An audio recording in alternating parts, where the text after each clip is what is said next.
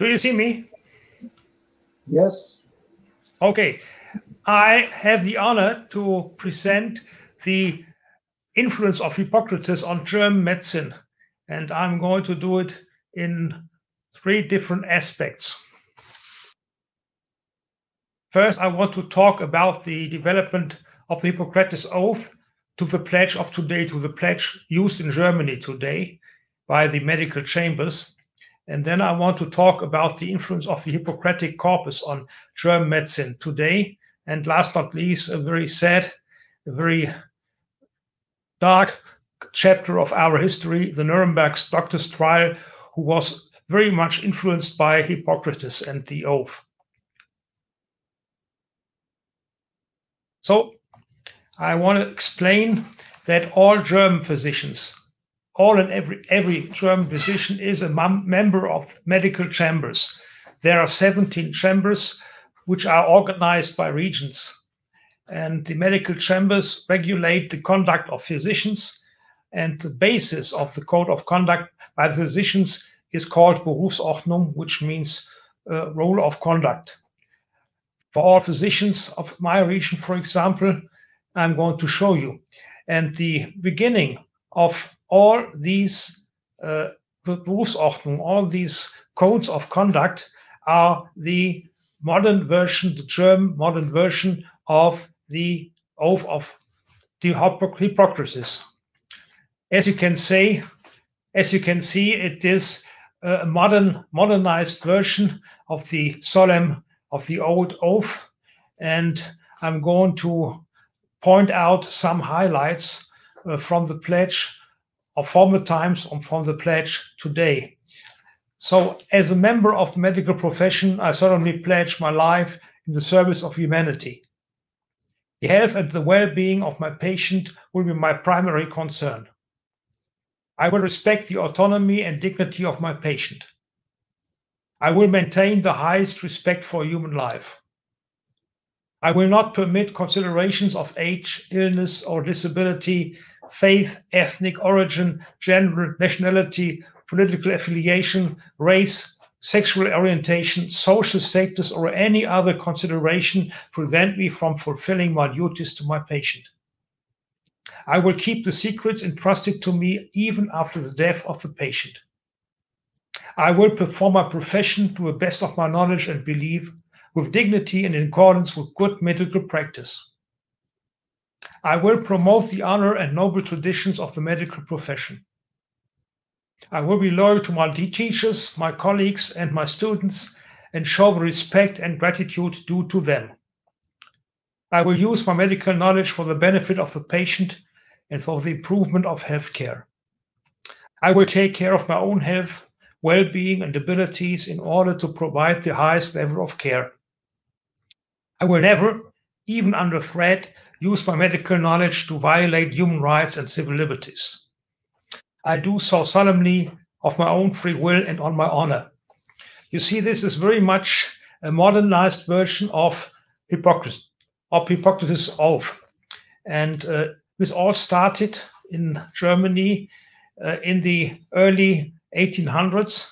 First general proclamation of oath of Hippocrates by all students, all becoming doctors, was done in Montpellier in France, but this spread very fast to Germany, and it was a widespread custom in the first half of German of, uh, of 19th century to uh, swear this oath in Latin. This declined in the second half of the 19th century due to a shift in medicine. Medicine became a science at that time, and the art was less important. So there was a decline in using the oath. Well, after first, after the First World War, there was a big disillusion uh, due to the fact that science is not all in medicine, and there was a real big return to the ideals of Hippocrates. Well, in the 20s, in the 1920s, Hippocratism was a name for a, for a holistic medicine approach, which was quite popular, which referred to the ideals and to the methods and treatments uh, prescribed by Hippocrates and his, and his two pupils. Then there was a very dark area era in, in German history, the Nazi dictatorship from 1933 to 1945. And the Nazis, they abused the oath, they changed it in such a way that the health of the nation was much more important, was the only important thing, not the health of the individual. And this led to many bad things I'm going to talk about a little bit later. Well, after the Second World War, we had to reform our German system of, of doctors' pledges, of doctors' uh, rules. And after having done this, we were reaccepted to the World Medical Association in 1950, five years after the end of World War II. Since then, there has been a continuing discussion of the pledge in Germany, and uh, there were several rewordings for modernizing the old text, but the core is still the same. The major discussions are today the, discussion on abortion, which is not legal officially, but it is permitted. So this is really a well a peculiar situation, but that is a pragmatic approach to this very hot topic of ethics. Then the second big ethic issue is of euthanasia, and active euthanasia is illegal, but what is called passive uh, euthanasia is legal. That means you let the patient die, you let nature takes uh, let nature takes her or his course. And then there's another topic now under discussion, the, the topic of assisted suicide. And there is a new ruling of the Supreme Court pending allowing assisted suicide, but there are strong resentments with doctors and other people against this ruling. So this is still under hot discussion. And all these developments led to the statement I will maintain the highest respect for human life. I just showed you in the pledge of 2019. Why is that so? Uh, the very bad, the cruel experience of Nazi dictatorship explains this strong pro-life thinking in medical circles in the chambers, who are the representatives of the doctors. But at the same time, there's a growing influence of liberal uh, Western countries in public and media. You see, our neighboring country is our neighboring country is is uh, Holland, the Netherlands, and they have liberalized uh, assisted suicide and even active anesthesia and and, and euthanasia uh, 25 years ago. And so this is a this big discussion going on in Germany too. Well, I'm going to take some uh, statements from the texts, texts of the Hippocratic corpus to explain what is valid still today. You all know these uh, sentences about the main um, the main aim of the art is to prove that medicine is an art to silence those degrading it. You know all, all about the technique discourse, and you know that arts are teach arts are teachable and learnable, and oral instruction was followed by text. This is all pure Hippocrates and his uh, pupils and his students. And uh, there is now a present discussion whether medicine is an art or a science going on in Germany. And uh, it's the discussion of science versus humanities. And uh, to answer this question, to, answer, to improve the relationship between doctors and patient, medical, education is now strengthening the doctor-patient relationship. So you see that these discourses, these discussions are quite old and still quite new. Nothing really changed. Nothing, most things stay stable in this respect. Well, what did Hippocrates say, or his pupils, uh, about the physician? the physician, the dignity of a physician requires that he should look healthy. This is uh, quite true, and this is even reflected in the new pledge, as I showed you just a couple of minutes ago.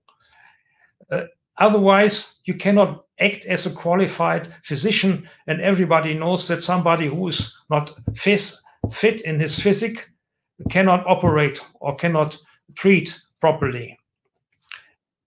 So the ideal of nobility of a well-regulated lifestyle and just character is valid for all times. This concludes in I will take care of my own health, well-being, and abilities in order to provide the highest level of care. That's our pledge of 2019. And this results in continuing medical education and continuing professional development and in the education of specialists, of young doctors becoming specialists for all of, the, of all known fields to treat patients.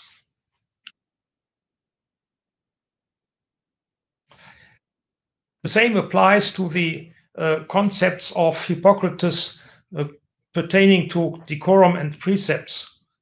This, this is all about etiquette and bedside manners for physicians, which are the same over 2,500 years. And uh, the old saying that the most important goal when exercising the medical art is to gain respect and avoid criticism is really timeless. And then the question of the physician's fee, which was addressed by uh, Hippocrates in his corpus. And it is still relevant today because um, there is a discussion going on whether a fee is gotten from the single patient or whether you are a salaried doctor and work for a fixed income.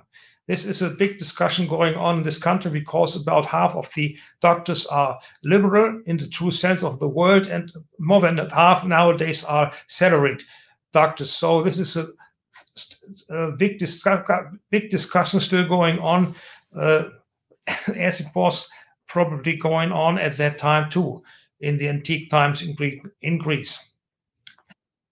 Uh, the ongoing discussion on patient doctor relationship cumulizes today, for example, in the Me Too debate and in the debate how you treat a patient of, of, the, of the opposite sex. This is a big thing going on, but I think this is a discussion going on in many and most Western countries. Well, just to give an impression what is going on and what happened uh, since Hippocrates uh, and what is happening now in Germany, I uh, show you these key points. Physicians form a family.